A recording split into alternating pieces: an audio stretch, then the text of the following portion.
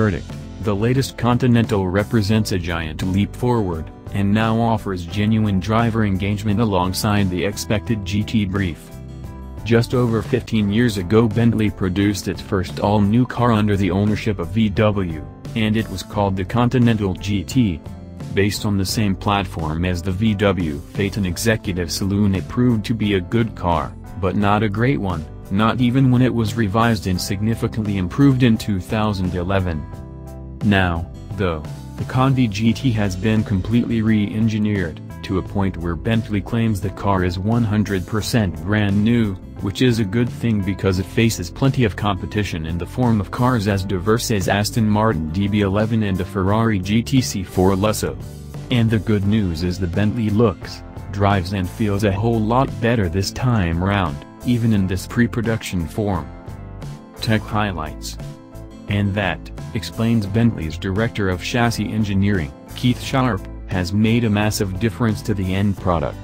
It's fair to say that we, Porsche and Bentley engineers, worked together on the project right from the word go, so right at the beginning of the concept stage we were involved says Sharp.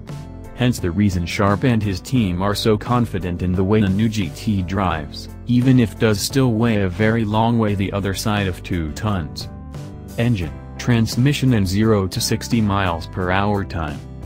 At its heart the Conti GT is still powered by a 6.0-liter twin-turbo W12 but despite featuring the same capacity and a similar fundamental design as the previous W12, it is genuinely a brand new engine, mated to a brand new dual-clutch gearbox that is essentially Bentley's interpretation of a Porsche Panamera's 8-speed dual-clutch. But the way in which the power and torque is deployed has been radically altered in the new car, and switching between the three different drive modes available is key to the distribution of energy, and to the personality of the car in general. What's it like to drive? In sport mode the new GT feels, well, not quite like a full-blown sports car but at the very least like an extremely sporting GT car. Prices and rivals. It is quite a car, is the new Bentley Continental GT. For approximately £156,000 you could even call it a bargain. That's the same money that Aston Martin asks for a V8 DB11, which is easily the best DB11, but which is still not especially close to being as good as the new Conti GT is.